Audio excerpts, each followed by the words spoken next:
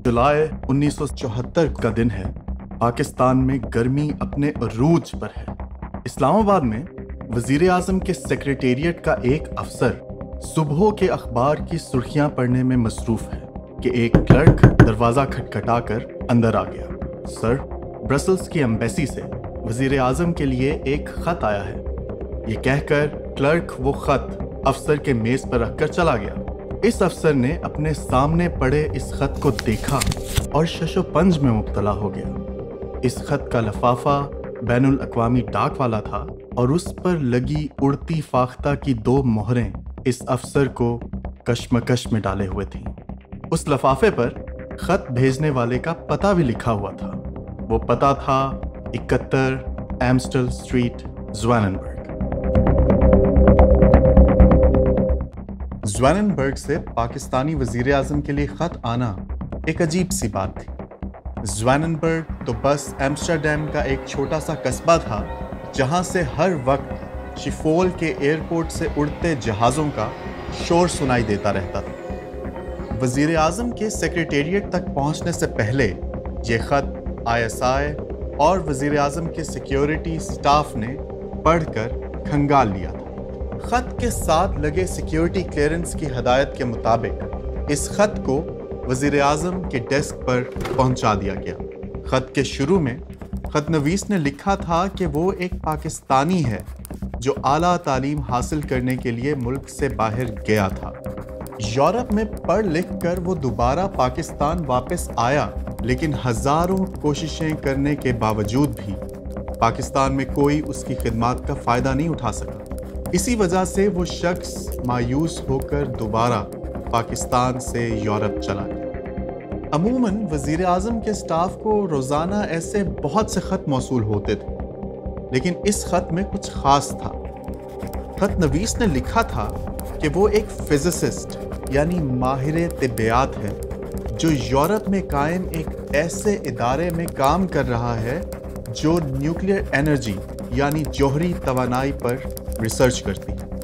ख़त नवीस ने लिखा कि इस इदारे में काम के दौरान उसके हाथ कुछ इंतहाई दर्जा बंद यानी टॉप सीक्रेट दस्तावेज़ लगे हैं। और इन दस्तावेज़ में वो नया इनकलाबी तरीका है, जो पाकिस्तान के वज़ी अजम का वो दरीना ख्वाब पूरा कर सकता था, जो वो बरसों से देख रहे थे। वो ख्वाब था पाकिस्तान का अपना एटम बॉम्ब। और इस खत नवीस का नाम था अब्दुल कदीर खान। पाकिस्तान के न्यूक्लियर बॉम्ब की इस कहानी में मैं, नौखेज सलीम, आप सबको खुश आमदीद कहता हूँ। पाकिस्तान, जो फ़िलहाल तीसरी दुनिया का एक मुल्क है, कि आलमी मैदान में अहम होने की वजह क्या है? क्या वो हमारा जोग्राफिया है? हमारा एक इस्लामी मुल्क होना है? पाक चाइना ताल्लुकात हैं? सी पैक गवादर, इन सब चीज़ों के हक और खिलाफ में हर कोई बहस करता है, मगर सिर्फ़ एक खासियत ऐसी है, जिस पर दुनिया का हर शख्स, दोस्त या दुश्मन मुतफिक है। और वो है पाकिस्तान का एक न्यूक्लियर ताकत होना। 28 मई उन्नीस सौ अठानवे को पाकिस्तानी साइंसदानों ने पाँच धमाके करके पूरे मुल्क का सर फखर से बुलंद कर दिया था। ये धमाके इंडिया के धमाकों के सत्रह दिन के अंदर अंदर करके पाकिस्तान ने पूरी दुनिया को हैरान कर छोड़ा था। लेकिन सवाल यह है कि तीसरी दुनिया का एक पसमानदा मुल्क, जौहरी बॉम्ब जैसी खुफिया और जदीद टेक्नोलॉजी कैसे हासिल कर पाया? और इस सवाल का जवाब है 28 साल की वो मुसलसल जद्दोजहद जो इस वीडियो सीरीज़ के ज़रिए मैं पाकिस्तानी कौम को याद दिलाना चाहता हूँ। मैं याद दिलाना चाहता हूँ कि कैसे पाकिस्तानी साइंसदानों, सियासतदानों, ब्यूरोक्रेसी, फौज और आईएसआई ने दुनिया की सबसे बड़ी ताकतों से लड़कर हमें एक जौहरी ताकत बनाया। वो बेनाम मुजाहिद कौन थे? उनकी कहानियाँ क्या थी? जिनकी बदौलत पाकिस्तान उन ममालिक सफ में खड़ा हो गया जिनसे टक्कर लेने का कोई सोच भी नहीं सकता पाकिस्तानी वज़ीर आज़म को ये ख़त मौसूल होने का इससे ज़्यादा अच्छा वक्त नहीं हो सकता था On the 138th day of the year, at 02 hours, 38 minutes, 20 seconds Greenwich Mean Time, corresponding to 8 hours, 08 minutes, 20 seconds in the morning, Indian Standard Time, the graph went haywire. वो इसलिए कि दो महीने पहले ही 18 मई 1974 को इंडिया ने राजस्थान के मगरबी रेगिस्तानों में एक कामयाब जौहरी बॉम्ब का पहला टेस्ट किया था। जी हाँ इंडिया ने अपना पहला न्यूक्लियर टेस्ट 1974 में कर लिया था। इंडिया के इस धमाके ने पूरी दुनिया की ताकतों को हिला के रख दिया था। हैरानी से नहीं गुस्से से सीआईए की उस जमाने की रिपोर्ट्स पढ़ें तो पता चलता है कि आलमी ताकतों को पहले से ही इंडिया के न्यूक्लियर प्रोग्राम का अंदाज़ा था। इंडिया के इस जौहरी तजर्बे की वजह से दुनिया की सारी बड़ी एटमी ताकतें इंडिया से नाराज़ हो गई थी। इन ममालिक में अमेरिका, बरतानिया, फ्रांस, चाइना और सोवियत यूनियन थे। ये ममालिक इंडिया से इसलिए नाराज़ हुए कि इंडिया ने इन ममालिक से जौहरी टेक्नोलॉजी सिर्फ़ बिजली बनाने का कहकर ली थी। मगर फिर इन सब ममालिक को एतमाद में रख के जौहरी तजर्बा कर डाला था। और इस पर इंडियन अवाम बहुत खुश थी।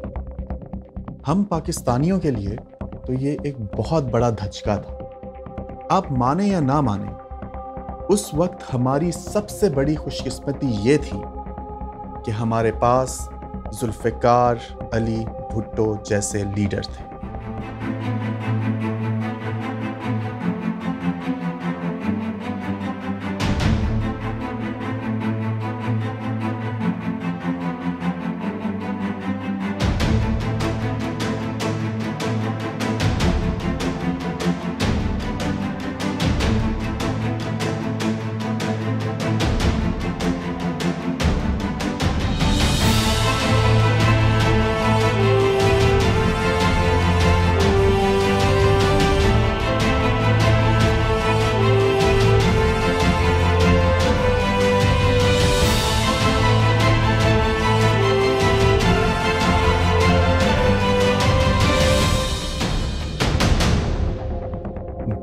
की यूएन सिक्योरिटी काउंसिल की तकरीर।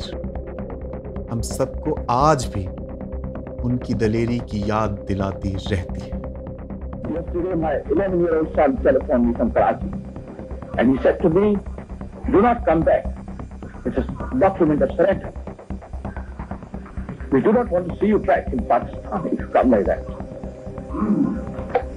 I would not take back a document of surrender.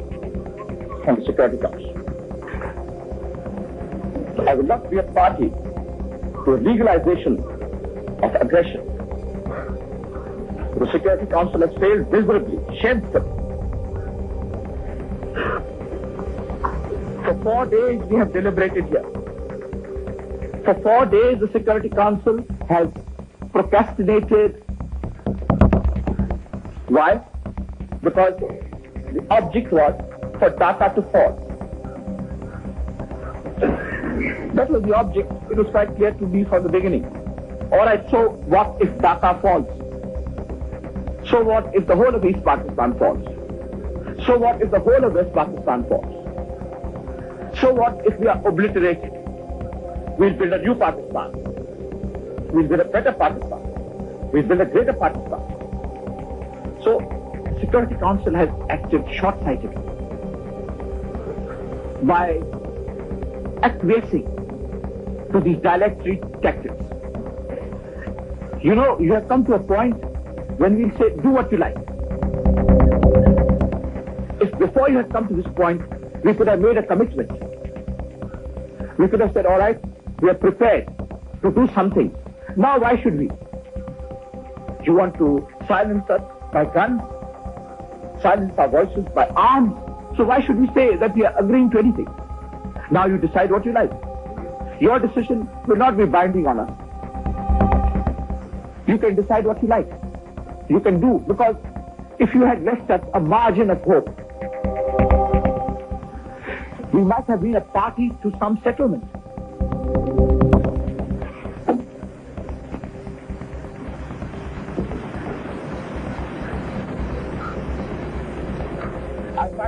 Disgraceful to my person and to my country to remain here a moment longer than necessary. But I am not boycotting. Impose, impose any decision. Have a treaty worse than the Treaty of Versailles. Legalize aggression. Legalize occupation. Legalize everything that has been illegal till 14th or 15th of December 1971. I will not be a party to it. We will fight. We'll go back and fight. My country hearkens for me. Why should I waste my time here in the Security Council? I'm going. जो रुके तो कोहे गरा थे हम जो चले तो जहाँ से गुजर गए राह यार हमने कदम कदम तुझे यादगार बना दिया